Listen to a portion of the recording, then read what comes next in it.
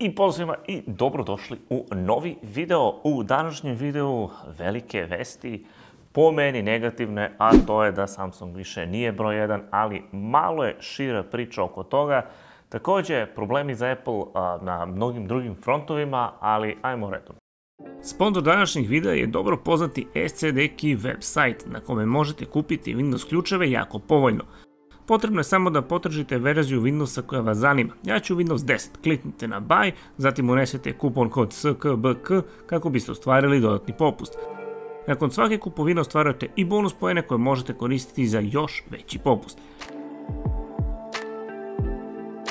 Nakon ovoga možete tokom instalacije uneti kod kako biste aktivirali Windows ili ga možete aktivirati kroz operativni sistem. E sad, evo, pre nego što krenemo, napišite u komentarima koje, recimo, mobilne telefone, odnosno proizvođače mobilnih telefona znate trenutno. Zašto ovo govorim? Pa zato što ono što se dešava u poslednjih nekoliko godina u svetu mobilnih telefona definitivno nije dobro. A to je da ima sve manje kompanija i sve manje konkurencije. Nažalost, ja kad se setim ranih dana, evo skoro mi je na Instagramu izašlo izlaze mi tako ti stari telefoni, ono, kad se setim koliko je tu kompanija bilo, Nokia, Sony, pa Sony Ericsson, pa Motorola, pa je bila, bio je Siemens, pa BenQ, pa BenQ i Siemens su bili zajedno jedno vreme. Sećam se, dođem ovde u Ameriku, pa Kyocera je recimo bila, znači milion kompanija je bilo i svi su preživljavali, svi su pravili telefone, bilo je vrlo, vrlo interesantno a, i jedno aktivno tržište, uvek je bilo nešto novo. Međutim, sada, Apple je sada prestigao Samsung za 2023 i prodao najviše telefona. Sjećate se, ranije pratili smo statistike i Apple je uvek bio prvi u prodaji skupih telefona, ali sada je u sve ukupnoj prodaji bolji što je prosto neverovatno. I imao je praktično jedini rast od ovih poznatijih kompanija, jer imao je 3,7% rasta, dok je, na primjer, ovde Samsung 13,6% pada u 2023. u odnosu na 22. Čak i Xiaomi u 4,7% pada, Oppo 9,9%, i a, ovaj novi a, Transion, a, oni imaju 30% rasta jer su, jel te, novi, ali opet to nije ništa novo, to su opet kinezi itd., to je prepakivanje jedne kompanije, a druga kompanija itd. Nemate ništa novo. Zadnji put nešto novo što se desilo je bio Huawei koji je naterao mnoge druge kompanije da malo su razmrdali tada tržište i veliki, ogroman je gubitak za celo tržište mobilnih telefona generalno to što Huawei više nije na vrhu, odnosno ne na vrhu, ali nije tu. Nije tu da gura ove dve druge kompanije. Ono što vidimo, imamo tu naravno Honor, ok, fine telefone oni prave, ali nisu u stanju jednostavno da ugroze Apple ili Samsung ili da ih barem nateraju da eto, za sledeći model urade nešto više, umesto par softverskih stvari manje više stavite nov čip, ali to se svakako dešava, to nije nikakva inovacija. Tako da, nažalost, duopol a, Apple Samsung je još jači i to je onako baš onako pogotovo za nekog kao što sam ja, što volim tehnologiju, volim da vidim svakakve te telefone, jednostavno nije zanimljivo. I, nažalost, mislim da i naredni period će potencijalno biti jako, jako loš upravo zbog toga. Ono što je jedina svetla tačka, ako gledamo generalno ove izveštaje, da je Q4 ove godine bio nešto bolji nego što se očekivalo. Međutim, opet Q4 praznici su, kupuje se itd. itd. Tako da nije ništa revolucionarno. Međutim, kada pogledamo dalje listu za 2023. na trećem mestu je Xiaomi sa 146 praktično miliona telefona, Oppo sa 103 miliona i novi Transition sa 94,9, da zaokružimo na 95. I to je to. Mislim, to stvarno nije zanimljivo. Gde je Motorola, gde, mislim, sve su, sve ove ostale kompanije koje vidite su toliko male da sutra može da ih nema i da, i da nestanu iz tog posla. Zašto? Zato što je jako teško biti u tom poslu, jer nije više imati telefon samo napraviti lep dizajn, dobar ekran, dobra kamera, nego su svi ostali servisi, Samsung Pay, Apple Pay, iMessage i sve ostale AI funkcije koje nisu dostupne nekom manjem proizvođaču i zato, nažalost, bukvalno ćemo imati To je to, 3-4 proizvođača i ti proizvođači će imati podbrendove i nećete imati novog proizvođača, možete da dobijete neki novi brend koji pravi Vivo Oppo, neki novi brend koji pravi Xiaomi kao što je Redmi, neki novi brend koji pravi eto Huawei što je na primjer Honor itd. itd. Dakle, samo se svodi da velike kompanije naprave neki brend, a da nema novih brendova, novih proizvođača,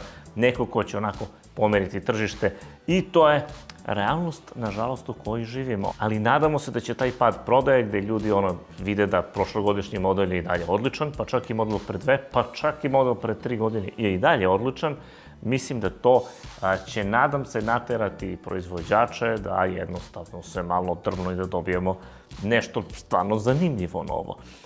E sad, ono što je Apple u problemu, ne znam da li ste pratili, ali Vision Pro, one naučare, dakle, Izašle su oko 180.000 naručenih, što je odlično s obzirom da su cene 2-3 hiljade, zavisi od šta sve uzmete i tako dalje, od konfiguracije.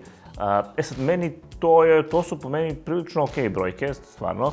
A, jedna stvar je kao zabrinjavajuća za Apple, što se taj broj naručbina kao smanjuje, što opet logično, nema toliko prebogatih ljudi koji hoće da isprobavaju first gen product čisto ono da probaju.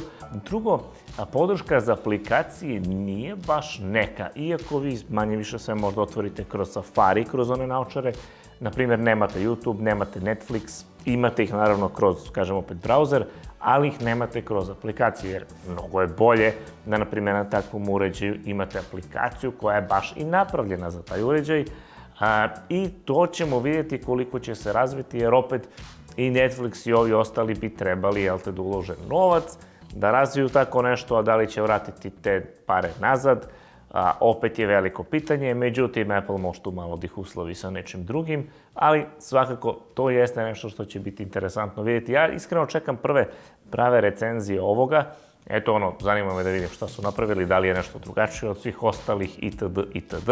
Ono što sam mogao da vidim do sada je da je mnogo težak onaj headset, da je jako, jako teško.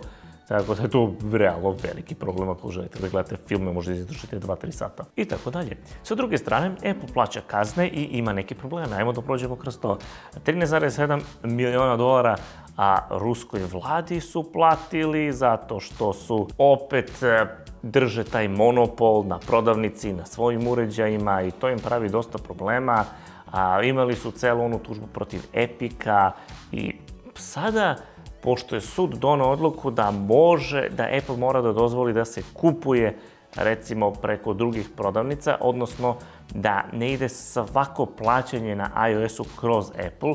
Znači, ako se registrujete na, hoćete recimo da kupite neku igricu kroz Epic, ne možete, morate kroz Apple, hoćete nešto da doplatite, opet mora, sve mora da ide generalno kroz Apple, što je super za krajnje korisnika jer je dosta jednostavno. Sa druge strane je dobro za Apple jer uzima 30% od svega, ali nije dobro za sve ove ostale učesnike jer bi oni da, da im neko ne uzima 30%. I sada da skratim, Epic je praktično dobio tu neku tužbu i morat će Apple da ih pusti.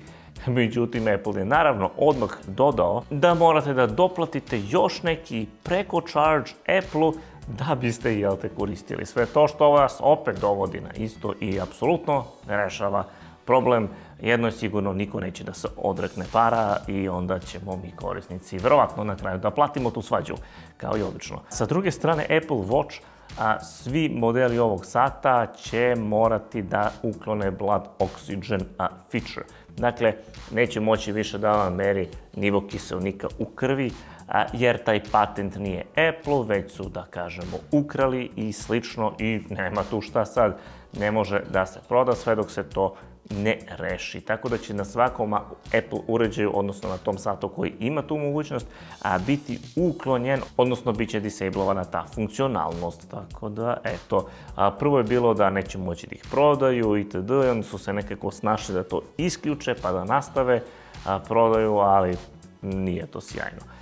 Tako da, eto drugari, to bi bilo to što se tiče ovog videa. Nadam se da vam se dopao. Ostavite like ako jeste. Uzeli smo jedan Apple 15 Pro Max, pa ćemo ga malo testirati u narednom periodu. trebalo bi da stigne S24 pa ćemo praviti neka poređenja. Sve to u februaru kada se vratim u ofis. Tako da, hvala što ste gledali, ostavite like, vidimo se u sljedećem klipu.